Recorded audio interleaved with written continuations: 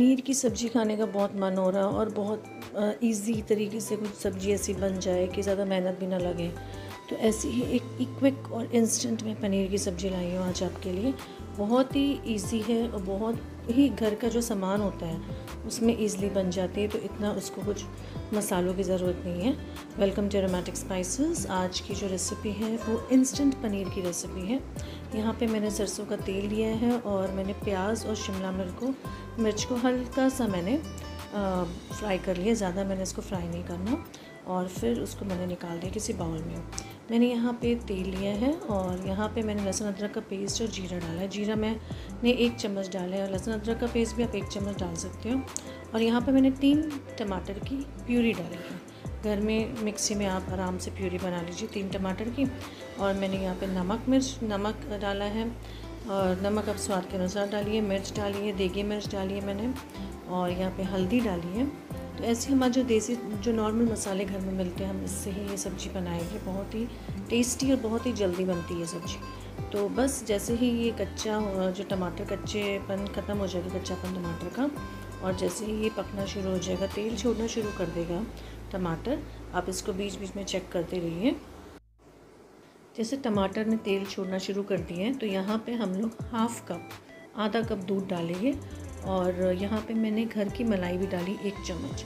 आप यहाँ पे बाज़ार की क्रीम भी यूज़ कर सकते हैं। अगर घर में मलाई है तो आप मलाई से भी आप यूज़ कर, क्योंकि हम घर की चीज़ों से ही बना रही है सब्ज़ी तो नॉर्मल सबके घर में मलाई होती है, बस हमने मलाई एक चम्मच डालनी है और दूध आधा कप डालना है और सिम पे इसको पाँच से दस मिनट पकाना है।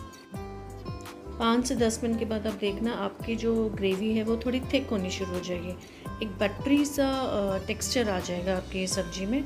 तब यहाँ पे हमने जो प्याज और शिमला मिर्च डाइस करके हल्के से फ्राई किए थे, उसको हमने यहाँ पे डालना है और हमने एक टमाटर डाला है जिसके हमने बीज निकाल दिए थे। वो बीज आप ग्रे जब आप प्यूरी बनाएँगे टमाटर का तब यूज़ कर सकते हो। आपने सिर्फ़ स्किन डालनी है टमाटर की, एक टमाटर आपने काटना है, उसके से उसके जो बीज है वो निकाल के यूज़ कर लेने अपनी ग्रेवी टमाटर प्यूरे में और फिर इसको टमाटर को डालना है प्याज और शिमला मिर्च के साथ और ग्रेवी के साथ इसको पाँच से दस मिनट तक पकाना है। फिर हमने यहाँ पे कस्तूरी मेथी डाली है। अब थोड़ी सी कस्तूरी मेथी आप डाल दो इसमें। सब्ज़ी में बहुत अच्छा फ्लेवर आ जाएगा कस्तूरी मेथी से। और यहाँ पे मैंने एक चम्मच गरम मसाला डाला है। और बस हमारी जो सब्ज़ी है वो मतलब मोस्टली इसका देखना ये रेडी है। ऑलमोस्ट ये एकदम थिक हो चुकी है इसका तेल साइडों से छूट गया जो हमने मलाई डाली थी, उसका भी अच्छा सा टेक्सचर आ गया तो हमने यहाँ पे जो 250 ग्राम मैंने पनीर लिया था, वो हमने डाइस करके डालना है। अगर आपको कुछ और अच्छा सा हेवी इसमें बनानी है सब्ज़ी तो आप फिर पनीर को हल्का सा फ्राई भी कर सकते हो। पर ये भी इंस्टेंट सब्ज़ी, फटाफट बनने वाली सब्ज़ी तो मैंने यहाँ पे पनीर को कुछ फ्राई नहीं किया। सिंपल पनीर की सब, पनीर काट के मैंने डाइस करके डाला है इसमें। इसको भी हमने पाँच से दस मिनट तक पकाना है। और बस आपकी जो रेसिपी है इंस्टेंट पनीर की रेसिपी वो रेडी है। आप इसको हरे धनिया के साथ गार्निश करिए। और आपको जब भी बनानी हो सब्ज़ी, कोई हमने यहाँ पे खड़ा मसाला कुछ नहीं यूज़ किया सिंपल सब्ज़ी है। नमक, मिर्च, हल्दी, धनिया के साथ सब्ज़ी बनाई है हमने। बहुत ही इंस्टेंट वाली सब्ज़ी है, टमाटर, प्याज तो सबके घर में होते हैं। तो ये ऐसी सब्ज़ी जो इसके लिए आपको स्पेशल कुछ सामान लाना नहीं पड़ेगा बाज़ार से।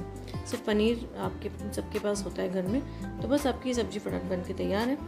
तो इसको ज़रूर ट्राई करिए और बताइए आपको ये रेसिपी कैसी लगी। Thank you